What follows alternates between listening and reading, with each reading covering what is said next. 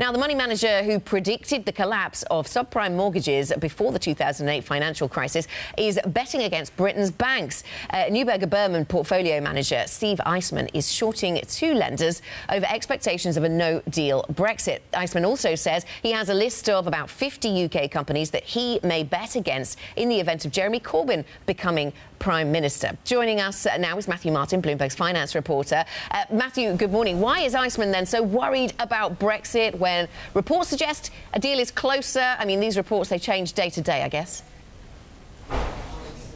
Well, good morning. Uh, yeah, so Steve Eisman was speaking at a conference in Dubai yesterday and was asked what is the what, what are the key risks that he's now uh, worried about and where he's looking for um, shorting opportunities.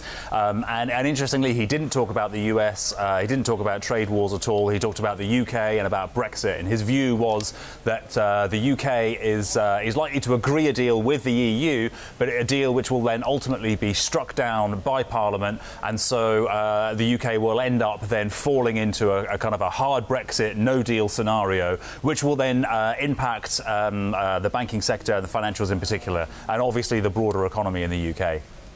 And so this is partly about Brexit, but he also went on to say, I think, that he had 50 stocks that he could short in the UK, and uh, he would do if Jeremy Corbyn was Prime Minister. So there's another angle to it. But do we know which stocks at all then, Matthew? Has he given us any detail on that?